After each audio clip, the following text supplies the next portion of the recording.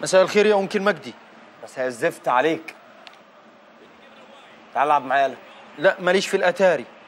بقولك إيه ما تيجي نروح بكرة نسهر عند سالي لا مفيش الكلام ده. ورحمة أبوك الباشا؟ لا تيجي نسهر عند سالي يا عم روح لوحدك. أنت أجتع. لا أنا هقول لك الصراحة أنا عايزك تيجي معايا عشان سالي بقالها يومين ما بتردش عليا. والله كانت بتحبني. ده من كتر حبها فيا كانت مسمياني العندليب. عندليب. والله العظيم العندليب. بس من ساعة ما بلغتها إن أبويا مش لادد عليه موضوع جوازني وهي قفشت وما بتردش. يا ابني جواز إيه؟ جواز إيه يا حبيبي؟ ما ينفعش. سالي دي آخرها معانا قعده حلوة سهرة للصبح. بس دي ركلام يا بابا ركلام فاهم؟ ومالها يا أخويا الركلام؟ على الأقل شغالة مش عواطليه قاعدة بتلعب سوبر ماريو. بقول لك إيه أنا خلاص هتجوزها وهقعدها في البيت. وأظن أنت محتاج مساعدتي زي ما أنا محتاج مساعدتك. مش انت برضك ناوي تفتح أبوي في موضوع جوازك من ليلي بنت البدري؟ وانت بقى اللي هتساعدني أكيد أبويا هيقفلها لك ده غير إن أخوها سولي لا بيطيقك ولا بيطيق شكلك.